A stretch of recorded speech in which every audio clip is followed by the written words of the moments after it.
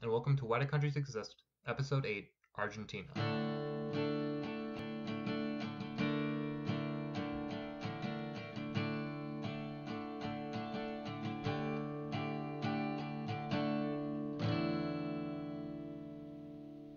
So we have arrived at our first South American country, and our first federation with the country being made up of 23 provinces and one autonomous city that acts as its own province, Buenos Aires, which is also the capital of the country. Argentina is located at the southern tip of South America, with bordering Chile to the west, Bolivia and Paraguay to the north, Brazil to the north and east, Uruguay to the east, and finally the Atlantic Ocean also to the east. The country is generally divided into three main climate zones. The north is hot and ranges from lots of rain in the east to little rain in the west. The center of the country is mostly made up of the Pampas region, which is largely flat and used as farmland. And finally in the south there is the Patagonia region, which is largely arid and sparsely populated. The very southern tip of the country, on the island of Tierra del Fuego, is more temperate and colder.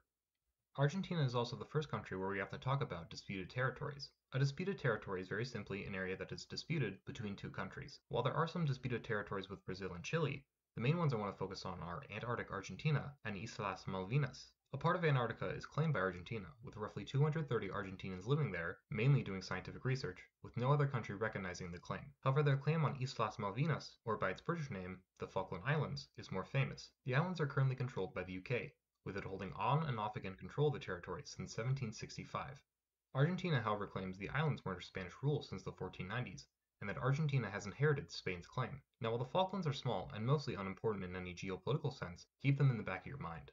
Argentina population-wise is around 45 million people. Ethnically, it's complicated to differentiate, as most people in Argentina are a mix of European, African, Native American, and possibly some East Asian or Middle Eastern. Estimates suggest that racially around 96% of the population is white, 2.4% are Native American, 0.5% are Asian, and 0.4% are black. But looking at the genetics, the average Argentinian is believed to be 52 to 67% white, 27 to 31% native, and 4 to 9% black. I say all this mainly to say that Argentina is ethnically mixed, and assigning a label such as white, native, or black does not really capture the whole picture. It should be noted that roughly 64% of Argentinians have some form of Native American ancestor, and roughly 63% have some form of Italian ancestor. Language-wise, most Argentinians speak Spanish as the first language, with it being the language of education, business, and politics. Some popular secondary languages include English, Italian, Arabic, and a variety of indigenous languages. The indigenous languages of Guarani, Quechua, Huam, Mocovi, and Wichi are regional languages in some of the provinces, with it being given a protected role in these provinces. Interestingly enough, the Celtic language of Welsh is a regional language in the state of Chubut, with 5,000 people speaking the language. Religiously, most Argentinians are Christian, with Catholics making up 63% of the population, and Protestants making up another 10 to 15%. Non-religious people make up around 19 to 25%, with smaller religious groups such as Jews and Muslims making up around 1% each. So now finally with the demographics out of the way, we can get to history. Argentina's indigenous peoples are roughly divided into three main groups, although every ethnic group has its own distinct culture and history. In the far south, there are hunter-gatherers such as the Jauche and Yanghan. In Patagonias and the Pampas, there are most socially complex and populous hunter-gatherers, such as the Machupe and Puelche. Finally, in the north, there were agriculturalists, such as the Charrue and Minue. These groups would largely be without any traditional political states until the arrival of Europeans in the 16th century. The first Europeans to arrive in South America would be the Spanish, who claimed all of Argentina under the Spanish crown. The Spanish would dominate the region, and while Native Americans would try to fight against Spanish encroachment, many would be killed due to Old World diseases, Spanish colonial troops, or be assimilated into Spanish colonial society. Quickly, a quasi-caste system with a variety of different racial categories emerged. Whites who were born in Spain known as Peninsulares, were at the top, while those of mixed white and native blood, known as the Creoles, formed the majority of the population and were seen as the middle class. Those of solely, or who looked solely, of native blood, were below them. And finally, blacks brought over from Africa to work as slaves in Argentina were at the bottom. Your lineage and racial group, or at least what you could pass as, determined what laws ruled over you and your place in society. Around 16 different variations of casta were formed in the Spanish American colonies, while the caste system is confusing and arbitrary, just remember that if you're white and born in Spain, you were at the top of the social, political, economic order, and everyone else was below you. Spain would primarily settle in the north and the central Pampas of Argentina. Buenos Aires would be formed in 1590 after a failed attempt in 1536 and grew to be an important port city in Spanish America, and Argentina grew to be an agricultural hub. At first the colony was under the viceroyalty of Peru, but in 1776 became the viceroyalty of the Rio de la Plata, which gave Buenos Aires greater control over its own affairs. Buenos Aires became a trading hub but was banned from trading with outside powers, such as the Portuguese or British, much to the annoyance of Buenos Aires merchants. Now we briefly have to talk about events going on outside Argentina to understand how Argentina gained its independence. The Atlantic revolutions in America, France, and Haiti towards the end of the 19th century showed to many people throughout the Western world that people could overthrow their traditional political systems and that colonies in America could become their own states. During the Napoleonic Wars of the early 19th century, Spain was invaded by France, forcing the Spanish king to abdicate. This threw all of Spanish America into uncertainty, with various independence movements springing out throughout the Spanish colonial realm. The British in 1806 hoped to take Buenos Aires and launched an invasion. However, they were beaten back by the Argentine population, with the Creoles making up the bulk of the military force that defeated the British. This showed to many of them that they didn't need the Peninsulares, and talk of taking power for themselves began to grow. On May 22, 1810, when the citizens of Buenos Aires found out that the Spanish provisional government was defeated back in Spain, they formed their own rival government in what became known as the May Revolution. They forced out the Spanish governor and established a new political order in Argentina. It is unclear if those that led the May Revolution wanted to break away from Spain, or if they simply wanted greater political rights for the colony, but regardless fighting broke out between those loyal to the Spanish crown, known as Royalists, and those loyal to the junta in Buenos Aires, or Patriots. The Patriots were able to drive out the Spanish from most of modern-day Argentina, although they lost control of Paraguay, Uruguay, and Bolivia. Eventually, in 1816, they declared independence, with united provinces of the Rio de la Plata being formed. They continued to fight Spain until 1821, after Argentinian general Jose de San Martin helped secure Chilean and Peruvian independence from Spain. Conflict didn't end in Argentina, however. Politically, the country was divided between two main forces, the Unitarians and the Federalists. The Unitarians believed in a strong centralized government based in Buenos Aires, where they had the most support and believed in broad liberal ideas. The Federalists believed that Argentina should be run under a weak federal government, where the provinces were given more power and believed in broad conservative ideas. The very first conflict between the two groups would emerge with the Federalists overthrowing the Unitarian government in 1820. Civil war would rage on and off again for many years. After Argentina lost a war with Brazil in 1826, the Unitarians retook the government, although only a year later they would lose it again. In 1831, the Argentine Confederation was proclaimed, with Argentina being run under a confederal system with no real head of state, although the governor of Buenos Aires would run foreign affairs, effectively making them the head of state. The confederation was de facto led by Juan Manuel de Rosas, who would serve as the governor of Buenos Aires from 1831 to 1852. Rosas would have to deal with a war in the north with the short-lived Peruvian-Bolivian state in 1836, a blockade from France in 1839, a civil war in Uruguay that Argentina would participate in, war with the Machupe people in the south, another blockade from France and Britain in 1845, and several revolts from Unitarians. Eventually, he would be overthrown by the governor of Entre Rios, Justo José de Urquiza, after Rojas declared war on Brazil. Urquiza tried to decrease the power Buenos Aires had, writing a new constitution that federalized the country, established a presidency, and ended slavery. This angered the Unitarians in Buenos Aires, who broke off from the Confederation and from the state of Buenos Aires. The state and the Confederation would fight it out until Buenos Aires was victorious in the Battle of Pavon in 1861. Buenos Aires, led by Bartolomé Mitre, would use the 1953 Constitution to end the Confederation, with Mitre becoming the first president of the new Argentinian Republic. Mitre would lead the country in a brutal war with Paraguay, that would result in 30,000 Argentinians dying, although Argentina would ultimately win the war, and the national treasury being depleted. Minor revolts would break out across the country until 1880, when the city of Buenos Aires was given its own status as a state. So now that the Civil War is over, where does that leave us? Well, during this time, a set of political elites known as the Generation of 80 ran the country. This generation was dominated by conservatives under the National Autonomous Party, who carried out three important tasks. First, they used limited suffrage and electoral fraud to ensure that they remained in power. Secondly, they expanded Argentina in the south and set its borders with its neighbors. And finally, they increased immigration to the country. Now, Europe at this time was experiencing turmoil as the Industrial Revolution industrialized much of Europe. Many looked for a place to escape to, and traditionally we've been told that these immigrants traveled to America. But Argentina also received large numbers of them, with around 6.6 million entering the country. Most immigrants came from either Italy or Spain, but many other ethnicities arrived, such as Ukrainians, Russians, French, Germans, and those Welsh we talked about in the beginning. One of the consequences of this massive immigration was the whitening of Argentina. Black Argentinians had been in decline since independence. They filled a disproportionate amount of the military, and because of that they suffered the most during wartime. During the war with Paraguay, many thousands of blacks would die during the war, as their region was the most affected. This coincided with plagues that killed even more black Argentinians. The massive immigration into the country resulted in blacks making up a smaller and smaller amount of the Argentinian population, and while there are still black Argentinians, many have been absorbed and intermingling into wider Argentinian society, with black culture remaining an important part of the country. Argentina formalized its borders with its neighbors to the north, and with it more Europeans arrived to find new land. But many Europeans decided that the southern parts of the country were good places to settle down. While the southern regions of the country were largely ungovernable by the Argentinian government, natives continued to live there in large numbers. From there they raided Argentina land in the north in what became known as the Malón raids,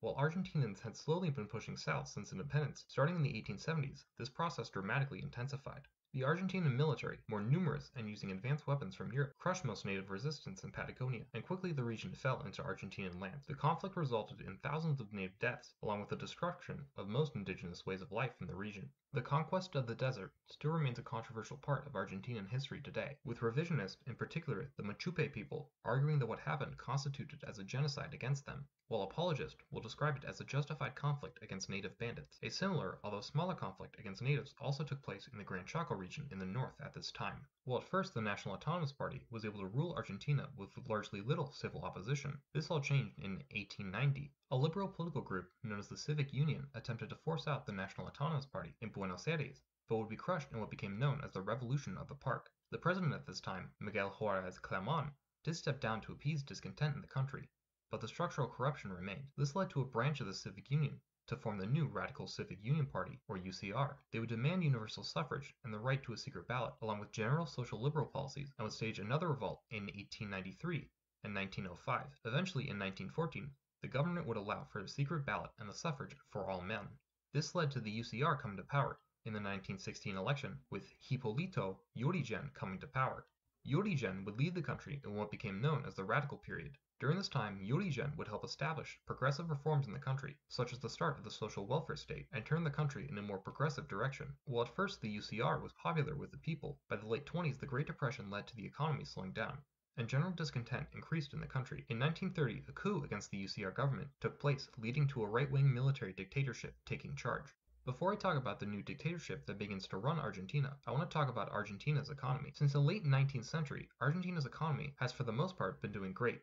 Argentina was the second wealthiest country in the Americas, and had the seventh largest GDP per capita in the world by 1808, beating out countries like France, Canada, and Denmark. It had a large export-driven economy, with Argentina shipping out its raw natural resources and wheat to other parts of the world. However, Argentina wasn't industrializing as fast as the rest of the world and remained largely rural. Education was also lagging behind, with many people not even having a high school level education. These factors, the Great Depression and the coup in 1930, all led to the economy of Argentina to stop rising, and the economy ever since has been in a state of flux. Some years the economy will grow massively, and just a couple years later it will collapse. Economists have many theories as to why it is, and I'll admit complex economic discussions scare me, so just know that for now Argentina, from this point on, has a struggling economy. The coup of 1930 brought in a period known as the infamous decade, even though this period lasted more than a decade, but I digress. During this period, more people moved from the countryside into the cities, and Argentina focused on reducing foreign imports and producing more goods within the country. Argentina began the process of industrialization at this time, but it still had relatively little industry compared to many nations in Europe. Social tension mounted in the urban areas as more and more people moved into the cities and struggled to make a living. The military held significant sway over the country at this time, with the opposition forced to deal with voter fraud and political repression against anyone anyone that spoke out too much against the government. As World War II arrived, the government decided to remain neutral. The country quickly became divided between those that supported neutrality, mainly due to a combination of Italian ancestry of many Argentinians, a historical precedent for remaining neutral in European affairs, and a distrust of the UK, and those that wanted Argentina to join the Allies, who wanted to support their trading partner America and also tended to dislike fascism. In 1943, the government was overthrown in a military coup who established a new pro-Allied military government. This new government would eventually declare war on Germany in March 1945, but never actually fought in any battles, as the war in Europe ended just a month later. After the war, elections were scheduled to take place in 1946 and were won decisively by military general and one of the leaders of the coup, Juan Perón. Perón was probably one of the most important and influential men in Argentinian history in the 20th century, if not ever. Perón had grown popular after the coup by serving as the Minister of Labor, where he championed workers' rights. When he was arrested in late 1945 by political opponents, hundreds of thousands of people swarmed the streets demanding the release of Perón, led by his future wife, Eva Duarte. Perón's ideas on politics were so influential that he created his own ideology, known as Peronism. Now describing Peronism is complicated. It has been described as nationalistic, populist, laborist, right-wing, left wing, right wing socialist, and third positionist, so it is a political ideology that many people can find themselves liking, or at least liking some aspect of. Peron generally advocated for greater workers' rights and progressive social security and labor laws. However, he opposed communism and wanted a corporate state, or a state where the government would step in and work on agreements between workers and businesses. Peron wanted universal education for all Argentines and wanted to raise up the working class, where Peronism has traditionally had the most support. Peron also favored a neutral, non-interventionist foreign policy, along with reducing foreign and particularly foreign economic interests. He expanded the military and controversially allowed many ex-Nazi war criminals into the country. Peron's wife Eva greatly helped his popularity, as she was much beloved by many in Argentina. She helped pass women's suffrage into law in 1947, helping boost Peron's support among women. However, Eva would die in 1952, and with her death, criticism of Peron would increase. Peron would win a presidential election in 1952, but quickly began to limit civil rights as more people began to protest. People were mainly upset about the economy, which had been burdened by government over-expenditure and inflation. In 1955, the military overthrew the government, forcing Peron into exile. Peronist parties and organizations were banned as Argentina entered another period of political instability.